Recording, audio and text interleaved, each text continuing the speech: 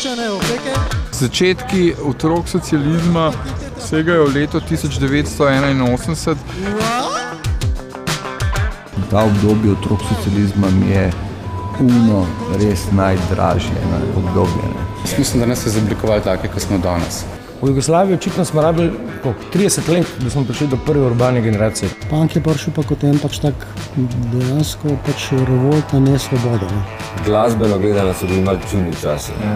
Važna je bila ideja, emocija. Mi so, mislim, da kar prvi, ki so se, se skušali otrgati od tega rock and roll kitarskega vzorca. Ne?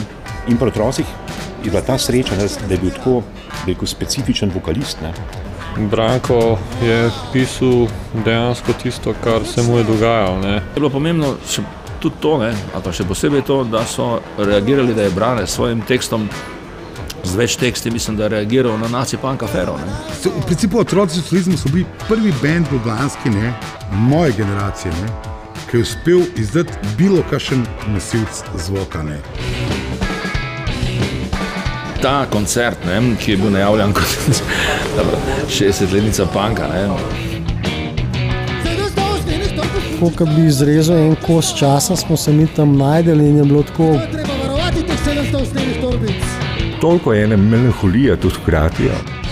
Tisti, tist, ki se človek zavoha, tista intuicija. Ne, mislim. Sveže, aktualno. Ne.